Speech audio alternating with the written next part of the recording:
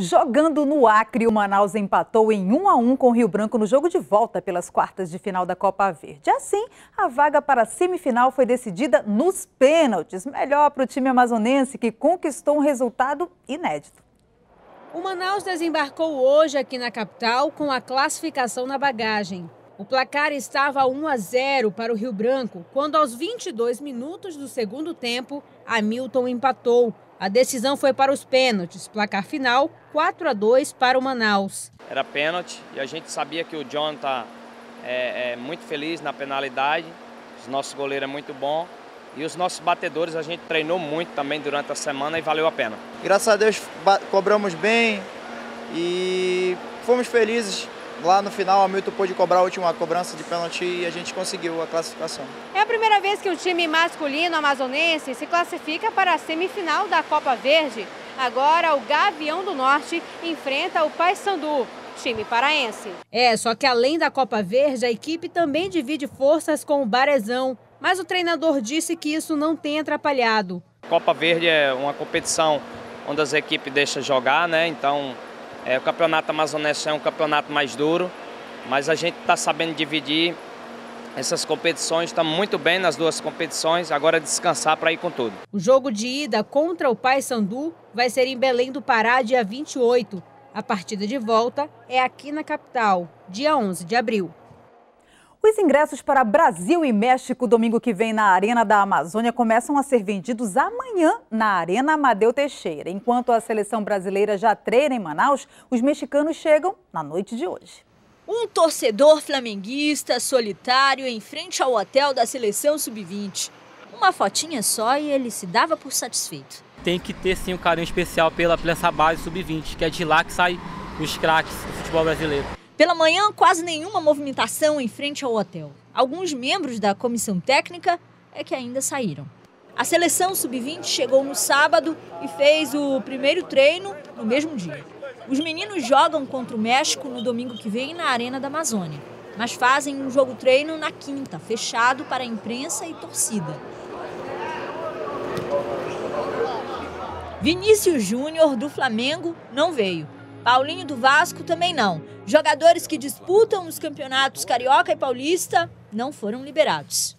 Flamengo, Vasco e Palmeiras. Vem desses times a base da seleção sub-20 que se prepara para o sul-americano do ano que vem. Manaus costuma dar sorte. Para o vendedor de bandeiras é bom que continue assim, né? Isso é mais um incentivo, né? Os torcedores virem aqui comprar a bandeira, levar para o estádio. Quem sabe não aumenta aí um dinheirinho, hein? Vai aumentar, com certeza.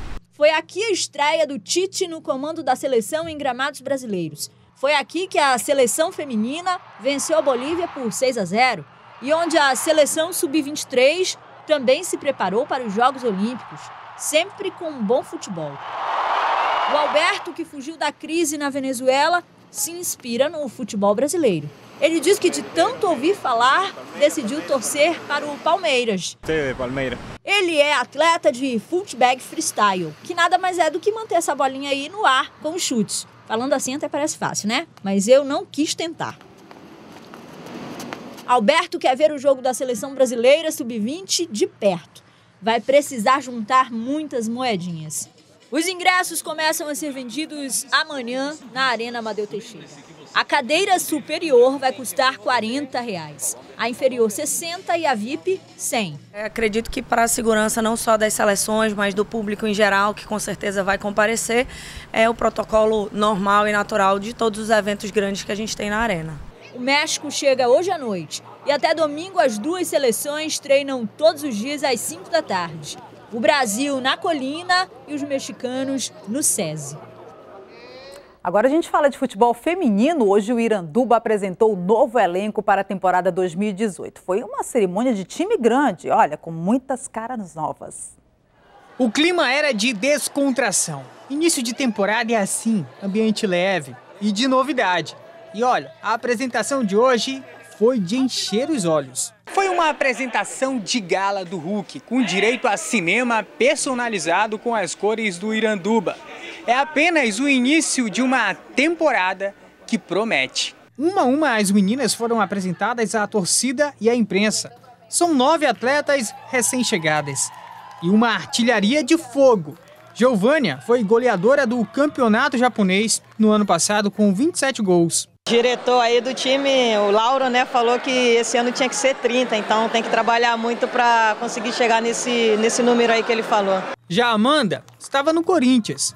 Ela foi artilheira da Libertadores em 2017 com quatro gols. Ah, eu vim para somar. Eu falei que independente de qualquer coisa, eu tô aí para ajudar. E se precisar de mim, pode ter certeza que, que eu tô à disposição. O Hulk também armou um paredão com o reforço da zaga. Espero que podemos juntos conquistar muitas coisas aí esse ano. É o elenco mais forte montado pelo Iranduba até hoje. As expectativas são as melhores possíveis.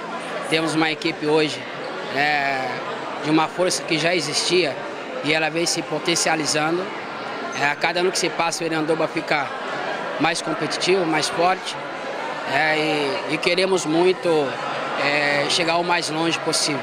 O foco é o Campeonato Brasileiro, que começa em abril, mas o time vive a expectativa de trazer a Libertadores para Manaus e disputar a competição. É um sonho muito grande, nós recebemos o caderno de encargos, já enviamos o ofício para a Federação Amazonense com ok, que nós temos condições de realizar a Libertadores da melhor forma possível e agora estamos esperando a decisão final que é do Conselho da Comebol. O elenco tem 28 atletas, só uma é amazonense, a goleira Andréa.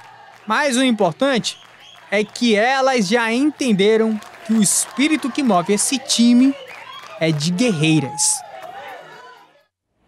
E olha, hoje é dia de São José Operário, protetor dos trabalhadores. Tradicionalmente, os fiéis católicos se reúnem em missas e procissões para prestar homenagem ao santo. Vamos à paróquia de São José, na Praça 14, onde está ao vivo o repórter Alisson Mota. Boa noite, Alisson.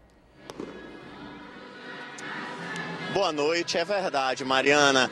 É um dia bastante tradicional para os católicos, por isso muitos fiéis vieram até a paróquia de São José, aqui na Praça 14, desde o início da manhã. Nesse momento, cerca de 6 mil pessoas participam da procissão em homenagem ao santo no entorno aqui das ruas da paróquia. Daqui a pouquinho vai começar a última missa do dia por isso já tem muita gente aqui aguardando, porque essa missa também encerra a programação desse dia em homenagens aos santos. E olha, Mariana, eu estava conversando com alguns fiéis e realmente é um dos santos mais amados da Igreja Católica. É, ele é santo dos trabalhadores, além de ser o pai adotivo de Jesus. O carpinteiro, conhecido por ser um homem justo, foi o esposo da Virgem Maria e pensou em abandoná-la quando ela ficou grávida. Isso porque o filho não era dele e ele temia a morte dela por apedrejamento, que era a pena aplicada a mulheres que cometiam adultério na época. Além de ter, ser uma grande influência na vida de Jesus Cristo, São José ficou conhecido também por ser um homem justo e trabalhador. Por isso, então, a Igreja Católica o classificou como o santo dos, dos trabalhadores. Aqui na capital, as homenagens aos santos são comemoradas sempre no dia 19 de cada mês. Então, você que tem a sua religião e é devoto de São José, ainda dá tempo de vir e acompanhar a última missa que vai encerrar a programação. Eu volto com você aí, Mariana. Obrigada, Alisson. Que São José nos abençoe. O Jornal em Tempo de hoje termina aqui. A gente se vê amanhã. Até lá.